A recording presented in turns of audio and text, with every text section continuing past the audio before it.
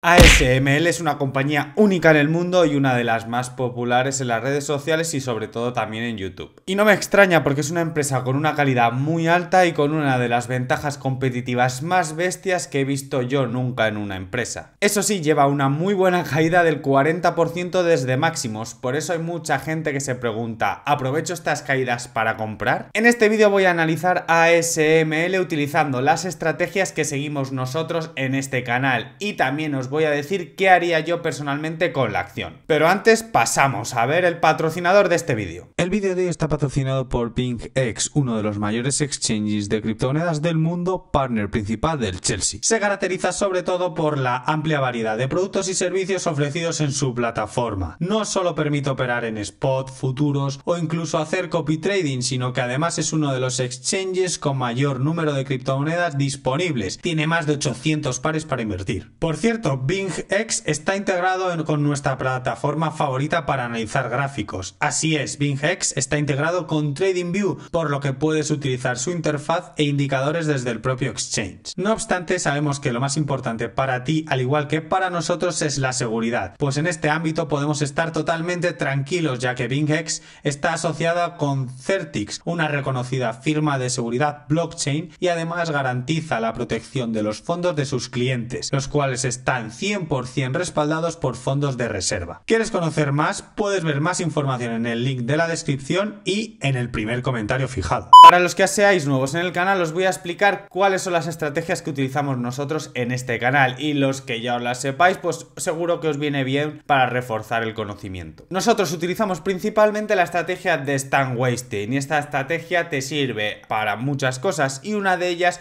es para saber en qué fase, en qué momento se encuentra una acción, se encuentra en una fase bajista, se encuentra en una fase plana o en una fase alcista. Esta estrategia es conocida como Stage Analysis y Stan Weinstein. En su libro nos enseña que todas las acciones, todo el precio de una acción eh, forma, va siguiendo una forma de una curva utilizando su media móvil de 30 semanas. Y esta forma establece cuatro fases, una fase 1, una fase 1 que es eh, una fase de consolidamiento de, del precio por acción en el que el precio por acción se encuentra en la parte más baja de la curva Después, este precio por acción inicia una fase 2, que es la fase alcista, el estado alcista, donde a nosotros más nos va a interesar comprar y tener posiciones de esa acción.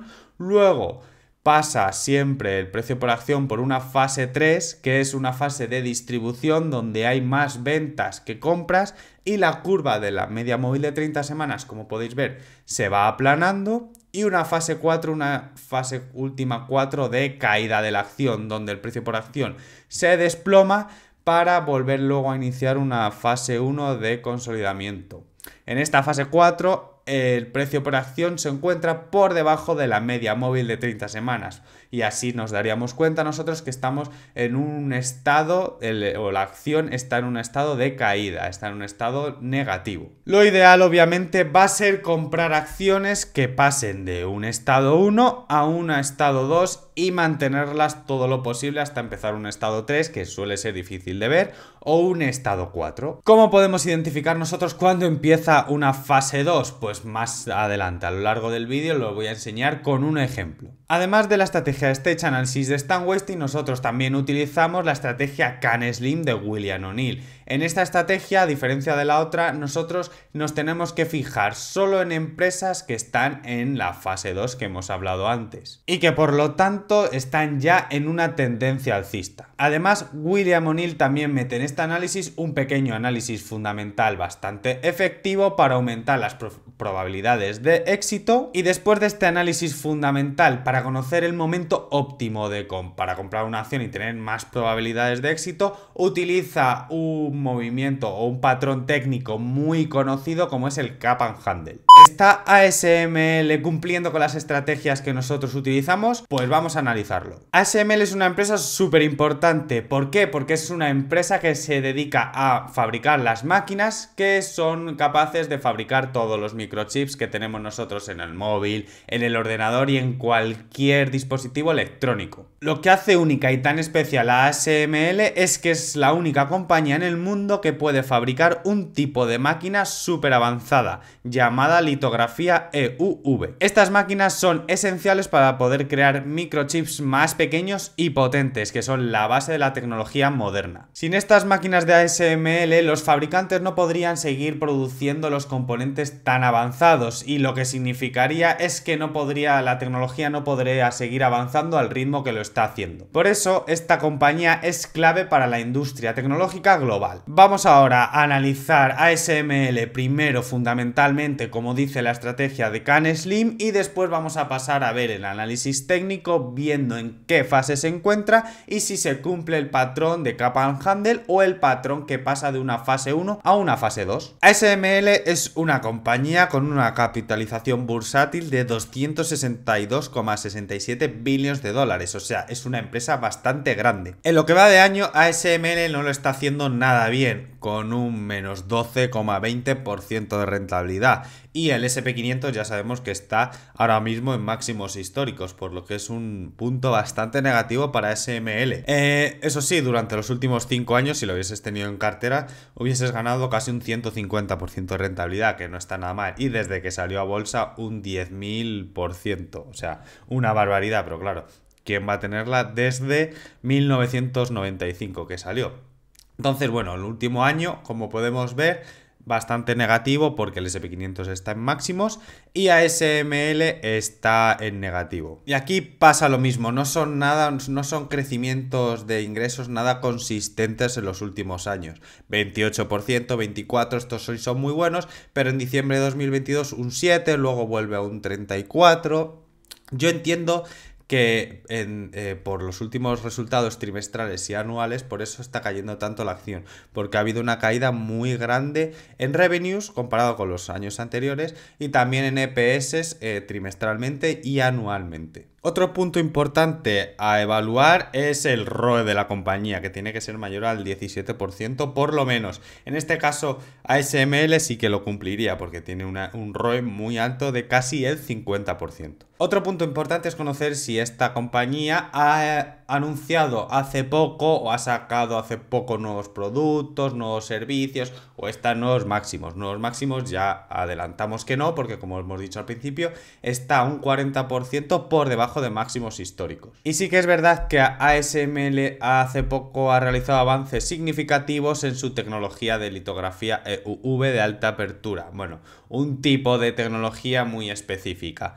Y en abril de 2024 sí que la empresa ha enviado su segunda máquina de este estilo a un cliente, por lo que suponemos que son, además son máquinas muy caras, suponemos que poco a poco estas máquinas se van a ir enviando a más clientes y supondrá un mayor ingreso para la compañía. Otra cosa que nos interesa ver es el interés institucional que está trayendo ASML.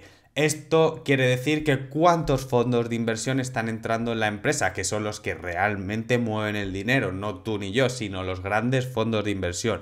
Para ver esto hay una página web muy buena que se llama Fintel, donde poniendo en el buscador el, el ticker de la empresa podemos ver cómo eh, es el crecimiento o disminución de los, de los fondos de inversión en la empresa. Como podéis ver, ASML durante los últimos meses sí que está creciendo muy poco, pero es que viene de un crecimiento o de un interés institucional mucho más alto y cayó mucho en junio de 2024, poco a poco está aumentando, pero esto también puede verse o deberse la caída que hemos visto. Ha habido mucha venta institucional. Aquí que nos va a interesar, pues nos va a interesar ver crecimientos mucho más fuertes, digamos, eh, como por ejemplo podéis ver en la, en la barra de junio de 2023 comparada con la anterior, donde hubo un crecimiento bestial. Por lo que podemos concluir en este punto que el interés institucional no está siendo demasiado alto. Y ya si pasamos a ver lo que son gráficas, eh, lo primero es ver cómo lo está haciendo el mercado en general, el SP500 y también cómo lo está haciendo el sector tecnológico y el sector de los semiconductores. El SP500 después de la elección de Trump en Estados Unidos está en máximos históricos. Y el sector del tecnológico también está, no en máximos, pero prácticamente con una fase, está en una fase 2, en una tendencia alcista, que es lo que nos interesa aquí. ¿Y cómo está el mercado de los semiconductores específicamente? Pues también en una fase 2, precio eh, por encima de la media móvil de 30 semanas, que es el área amarilla, ¿vale? Y como veis, en una tendencia alcista. Entonces, lo siguiente sería ver, pues bueno, confirmar como hemos hecho que el mercado en general está en una tendencia alcista. Entonces tenemos más probabilidades de entrar eh, y, bueno, de que si entramos en la acción o en ASML el precio por acción suba. ¿Y cómo está SML? Pues tened en cuenta que la media móvil de 30 semanas en esta gráfica es el área amarilla y si os acordáis de la fotografía que os he enviado antes, eh, os he enseñado antes en la estrategia de eh, Stan Weinstein, el precio por acción está por debajo de la media móvil de 30 semanas, se ve muy claro. Y el precio por, y bueno, y la tendencia está siendo negativa. El precio por acción está por debajo de la media móvil, como he comentado, y la curva está en una tendencia bajista, por lo que estaríamos en una fase 4. ¿Qué pasa con esto? Pues que según Stan Weinstein y William O'Neill nunca hay que comprar una acción que se encuentra en una tendencia bajista y cuyo precio por acción está por debajo de la media móvil de 30 semanas, por lo que técnicamente comprar ASML no estaría en mis planes. Y entonces, ¿cuándo sería un buen momento de compra? ¿Cuándo pasaría de una fase 1 a una fase 2? Lo primero, la fase 1 es que el precio por acción esté cerca de la media móvil de 30 semanas. Y ahora mismo está bastante lejos, un 32% eh, por debajo, o sea que habría que echar paciencia. Y luego lo siguiente es que la media móvil de 30 semanas esté un poco más plana o en una tendencia ligeramente alcista. ¿Cuándo se vio esto claro en ASML la última vez? Pues en la semana del 13 de abril del 2020. Aquí se vio muy claro, ¿por qué? Porque se cumplieron los patrones que se deben de cumplir según la estrategia. Y es que el precio por acción corte la media móvil de 30 semanas, aquí lo estamos viendo, que eh, que se vea demanda de compra, cómo se ve esto con el volumen, que es la barrita verde. El volumen debe ser superior a las anteriores semanas y superior a la media, que es la línea gris. Y eh, la fuerza relativa, que lo que mide es cómo está haciendo la acción respecto al SP500, al mercado en general, tiene que ser positiva y ascendente, que esté en nivel superior al nivel 0 y que esté, que esté ascendente. Aquí, por, como veis, estuvo ascendente mucho tiempo. si se cumplen estas tres cosas, lo mejor posible sería un buen momento de compra. Aquí tendrías muchas más probabilidades de que te saliera bien la operación. Y como veis desde ese punto, que fue un punto bastante claro, si hubieses comprado ahí y hubieses vendido cuando el precio por acción corta la media móvil de 30 semanas por primera vez, eh, corta, y eh, esto lo vemos semanalmente, corta eh, al final de semana, ¿vale? Hubieses ganado un 165%, que en, en algo más de un año que no está nada mal. Luego te hubieses ahorrado una gran caída, luego a lo mejor aquí hubieses podido volver a entrar, como veis, eh, media móvil, o sea, el precio por acción corta la media móvil de 30 semanas, el volumen es muy alto comparado con la semana anterior y las semanas anteriores, mucho mejor que la media. La fuerza relativa también ascendente cortando en nivel 0, eso es muy bueno. Entonces, si hubieses comprado en el punto más alto, digamos, y hubieses vendido cuando corta la media móvil de 30 semanas, hubieses ganado más de un 15% en unos pocos meses, que en una empresa tan grande como ASML, pues es una muy buena noticia. Entonces, como conclusión, ASML, aunque es una empresa súper grande, muy consolidada en el mercado y de gran calidad, siguiendo nuestra estrategia, nosotros no nos plantearíamos comprar acciones de ella de momento. Y es que aparte de no cumplir con muchos de los puntos que dice nuestra estrategia, ahora mismo está en una tendencia bastante bajista, por debajo de máximos históricos un 40%. Ojo, y con esto no estoy diciendo que la empresa no pueda subir o no vaya a subir, la empresa puede hacer lo que quiera. Sin embargo, lo que estoy diciendo es que bajo mi punto de vista y utilizando la estrategia que seguimos en este canal, no queremos asumir el riesgo que supone comprar acciones de SML ahora. Simplemente porque si compro acciones de esta compañía ahora, tengo más probabilidades de que la operación me salga mal a que me salga bien. Y no te vayas todavía porque si quieres saber en qué momento nosotros compramos una acción, vendemos acciones, también las empresas que tenemos en seguimiento, puedes acceder a nuestro grupo privado de Discord a través del canal de miembros que tienes del botón debajo de este vídeo. Échale un vistazo porque por menos de lo que te cuesta cualquier tarta de queso en Madrid vas a poder aprender muchísimo sobre esta estrategia que te he comentado, además de ver, pues eso, eh, tener notificaciones de en todo momento de lo que compramos, vendemos, etc. Nosotros, como siempre, te esperamos en el próximo vídeo.